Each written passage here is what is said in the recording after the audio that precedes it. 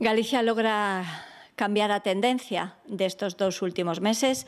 En Galicia no mes de maio baixa o paro, unha baixada de 547 persoas menos, o que supón un descenso dun 0,29%.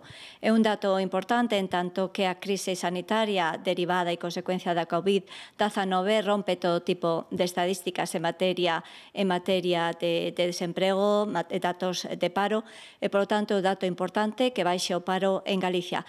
Ademais, un dato importante é que baixa o paro no mes eh, de maio frente á subida no conxunto da media do Estado. Estado. Baixa o paro na provincia de Coruña, baixa o paro na provincia tamén de Vigo e baixa na cidade de Vigo.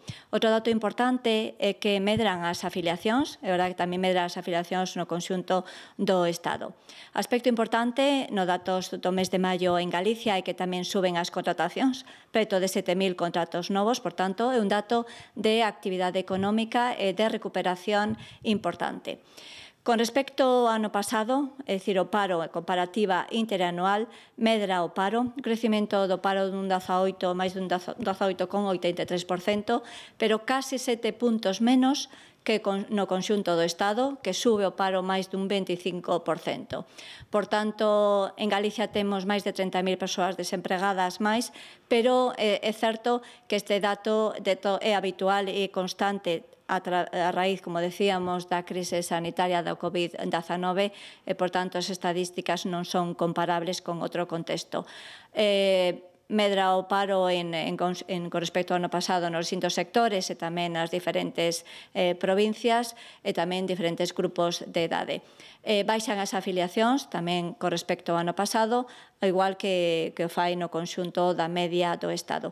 Por iso, o máis importante é que Galicia continue a conter a caída do paro, tal como fixo no mes de maio, e poñer en marcha todo tipo de instrumentos, políticas activas que xeren confianza no tecido empresarial e que que eh, xeren tamén confianza para as persoas eh, traballadoras e tamén para as persoas desempregadas.